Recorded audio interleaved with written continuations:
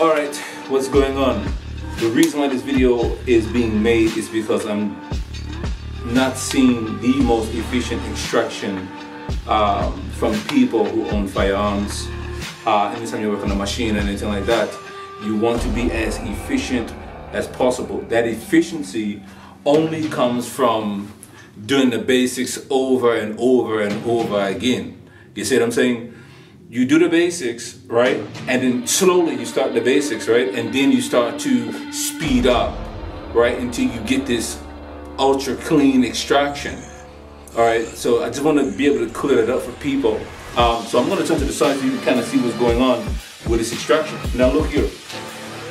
When I extract this gun, there is a reason why the hand comes here. It's not simply going up here like that as to say, oh my gosh, I'm getting ready to, you know, extract my weapon system or whatever. No, it, it, it serves a purpose, right? So on that initial extraction, when that arm comes up, my, when I do it, I can't speak for another person. I can only speak for when I do it, right? So when I extract this gun, no matter what the reason is going to be, that hand comes up here first. This elbow comes to protect or to move, right? Or to protect the extraction process in its entirety. That's the reason why we do it. Well, I do it. You know, some people will simply be here and they say, oh, okay, this is what I was taught to do. So we have to start moving from um, performing what we are taught to do and start thinking about uh, what uh, the bunkai is, or that's a Japanese term before any martial artists out there. The bunkai meaning the the meaning behind the application of whatever the function that you're getting ready to execute. So the bunkai, you know, comes up here, boom, there. I see what's going on. Now I don't know if you can see because there's a lens I got, um, and it's a new lens by the way.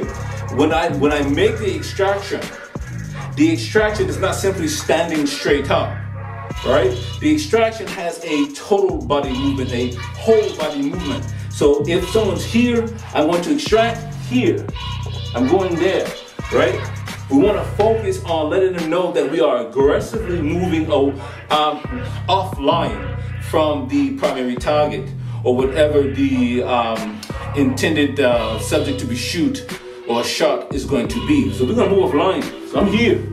I see that. So the elbow comes up. It's not only uh, if I'm uh, close to someone or whatever, they know that they're gonna get hit with this elbow if they don't move, right? So we're gonna create a little bit of that gap right between me and this other person, right? But at the same time, it's protecting. This hand starts to protect automatically, just in case someone comes from the side. I can go down and hold this gun.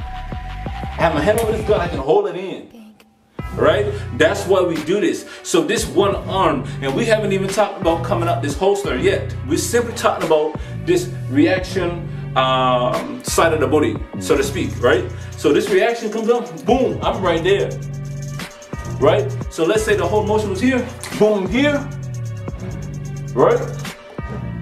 Now this gun comes out. That's how that works. If you're gonna use that particular platform, if using another platform, here is where that gun will come out, right? So it's different for everyone. The reason why it's different for everyone is because everyone's situation different. It may be height differences, weight differences, distance, weapon system, multiple people, lighting conditions, all types of conditions and deviations that will dictate how you extract this gun. Right? So I'm here, elbows up, he knows he has to move, or he's getting hit, or I'm covering, or I'm doing something, right? My body is turning. Remember, and also, again, before we even extract this gun fully out the, out the holster, the body, the hips, right? The power comes from the hips. The power no come from the arms. The power no come from the fists. The power comes from the hips, typically ground up. You build a house from the ground up. You don't build a house from the top or the middle down. The foundation must be solid. So you step back here, you see what's going on? Boom, I'm here. My legs are typically in a fighting stance. So you see competition shooters, they'll come out there and they'll stand square. And as you can see, like this here, they'll stand square. We don't want to stand square. You don't. There's a reason for that. Because you stand square with someone, they can push you off balance. You don't want to do that. Again, competition very much so different than real life application, right? So competition will start here, and then they'll make the extraction and do whatever. That's what they do. They do this. That is the norm, right? In the streets, you don't know what's gonna happen to you. Somebody will bump into you, whatever. Or you may start off in a fist fight there. You know, you may start off in a fist fight or whatever. But you will quickly transition over to this gun. Also, you want to keep in mind various clothing options that you may wear. You may wear a jacket, right? That jacket that you wear, right, may be covering the firearm. It may be what I like to call a compound concealment, meaning that not only do you have a jacket on, but you also have that firearm covered, let's say under a t-shirt or another shirt if you're wearing layers or whatever. So oftentimes you would have to clear that garment, then extract the firearm right before you go ahead and you quote unquote punch out. You see what I'm saying?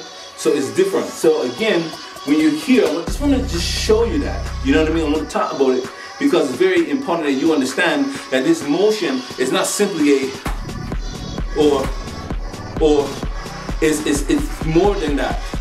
That these fine minute details is what makes or breaks you when you're getting ready to extract this firearm out of the holster. Most people, when they extract the firearm out of the holster, right, they're typically gonna lose it or they're gonna fumble it. It happens, it happens to the best of people. Happens to the people that you look up to, to the people you don't know. So what we're looking to do is decrease the risk of, how you say, fumbling out the holster. And that starts by understanding what the total body is doing. You see what I'm saying? It's not simply, hey, I'm going to just take this gun out. No, it's, it's twist of a turn. I ain't gonna lie to you. Some people will say, oh, that's wasted move. No, it's wasted movement if you're a competition shooter. Right? It's wasted movement for that. It's wasted movement if you're only shooting at the range. It's wasted movement if you're just simply learning how to press the trigger to shoot. It is not a wasted motion if you're in a real life application in which you gotta get somebody off you or you have to clear a garment or multiple garments. You see what I'm saying? So you have to understand, you have to can't you can't be polarized. You can't say, hey, it has to be this all the time, or hey, he taught me that or she taught me that, so therefore I have to do what this person showed me, or else it's wrong. It's not about right wrong. It's about what works at that particular time. You see what I'm saying? So everyone is different, everyone's training is different. And even though I may be, be behind the camera or I may be shooting somebody else with a camera or whatever, um, I still scroll through Instagram, Facebook, YouTube, like every other person on this earth, uh, social media whatever, and I still do these things, but I still see the same commonality, and that commonality is that polarity that it has to be this way, or it has to be that way, or it's going to be wrong. Or uh, this person must be an incompetent person because they do it a certain kind of way. No. You have to understand what works for me may not work for you. You see what I'm saying? What works for you may not work for me. Everyone different, right? So again, it's a total body engagement.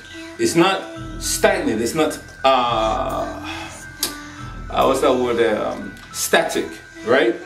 It's the bo- the entire body is involved, right? So you hear and that gun comes out, you see what's going on, right? Little close. I don't know if you guys can see it or not. This is the first time working with this particular setup here, um, but you see it. You didn't see the, the gun in it come up, boom, and you see it. It's right there. It's the same thing. Nothing's changed. It's here. Get them out. Right? If it's not there, it's here. Get them out. It's the same thing. It, nothing changes.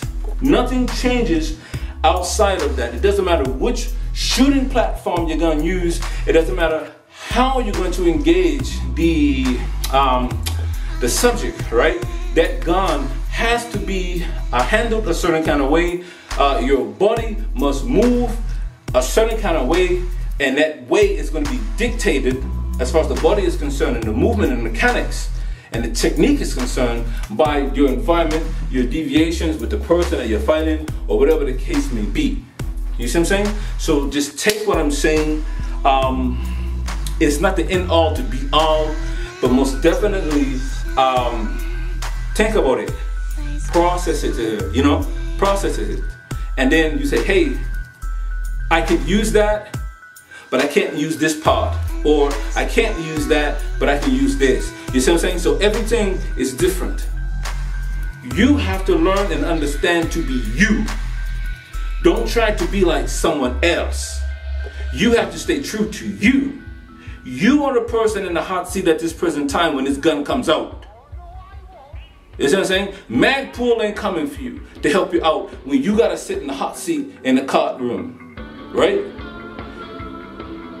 Travis Haley, Chris Costa, or whoever else is out there, they're not coming to articulate what happened to you, right? When the police say, okay, what happened? They're not coming, right? They're not going to pay a minimum of ten, fifteen thousand dollars for your funeral because you failed to make the adaptation on how to handle this particular firearm, right? In that particular fight. In fact, you may not even make the news. And if you do make the news, most of the time it's like a small blip. Oh, this guy was shooting at Walmart or something like that. Oh, next prince. Izuga. Right? So that's what you have to understand you work this firearm, right? When that time comes, you work this gun like you've never worked anything before in your life. You press that trigger as as uh, aggressively as possible, right? Within the confinements of the law, right? To the best of your ability, until that threat is gone, until that man is no longer standing. Because when that time comes, if it comes, and it's probably like you know, a one percent chance. You know, if you're doing everything you right as far uh, doing everything right as far as risk management, mit mitigation, risk avoidance, risk transference. If you're doing everything you can do, you, you know, I'm a, I'm a project manager. I, am sorry, I, I, can't help that. I, you know, that's how I think, right? If you're doing everything you're supposed to be doing, there's only a one percent chance you're gonna have to ever extract this gun. But that one percent chance that you ever have to extract this gun has to be the time when you can't mess up the top. You got to go out there and you got to do what you got to do. Right? Because you got to say, at the end of the day, you got to know that you are somebody, somebody. Right? And you got to have confidence to work this gun and do what you got to do. Don't try to imitate nobody else. Be you. And listen, I'm going to close the camera and say it again. No try to be anybody else. Be you. You. Stop copying all these big name people. Let me tell you a secret, man. These big name people, they mess up all the time. They don't hit the target right all the time. They don't have the perfect extraction all the time. How I know? Because I watch them. I know people who know them and they're like, hey, look, that man messed up. Right? You see what I'm saying? So be you. Don't try to be anybody else. Get off these blogs thinking that these folks are ex because they're not. They're not. They're just people like you and me and anybody else. You do what you do. This is VODA Inc. You stay safe out there. And I'm going back behind the camera because I got to do another photo shoot today. Bye-bye.